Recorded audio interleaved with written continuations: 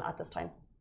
Um, amazing. Well, we'll move on to our next news. Now, the RTA has gifted free laptops to Dubai students who regularly use the metro and tram.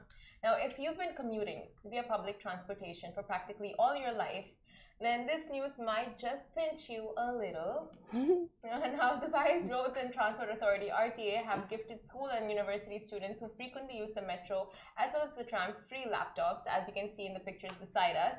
And the initiative was rolled out last week with students getting back to school for the new academic 2021-2022 academic year. And this gesture reflects the RTA's commitment to encourage all community members, especially students, to use public transit uh, means such as the Dubai Metro, tram, public buses, marine transit, and all of that as frequently as possible. Now, also, it's noteworthy that RTA offers a 50% discount on Blue Nol cards to students and certain residents.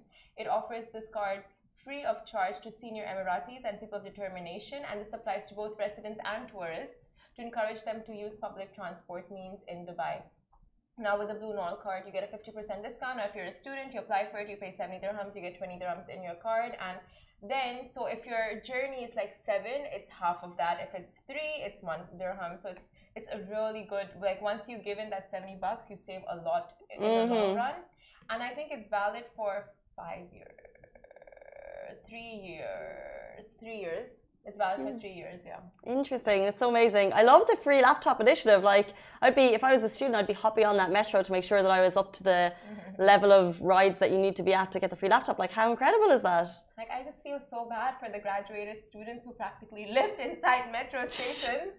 and now it's like, oh, Jackie's But this is but it's the same. Like you take the metro every day and you wouldn't like and I before I moved I would take the metro as well quite regularly. But like so what? Like let the students have something. They've had the worst time true, true. during COVID. Like I think uh, you know, just depending on what level you're at in life, I always really feel for the students because they, you know, going to school education, you want to be with your friends, and that was taken away from them. So this is something when they get something like that, of yeah, course. And when you put it like that, like, oh yeah, you guys really do deserve it. I think all the students deserve it, but we've also gone through a bad time, okay?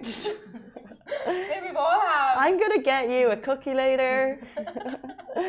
I mean, like cookie laptop, cookie laptop, same same. Cookie laptop. Where do you get those? we can get like a nice little cookie laptop. Like a cookie screen. slab and put them together and just call it a cookie laptop. We're not like Cold Stone Creamery. We're not telling. it's going to be a cookie and you'll be. You know what? I'll take what I can get. I'll take what I can it's get. It's the small things. Um, but well done to RTA. It's a fanta- fantabulous initiative.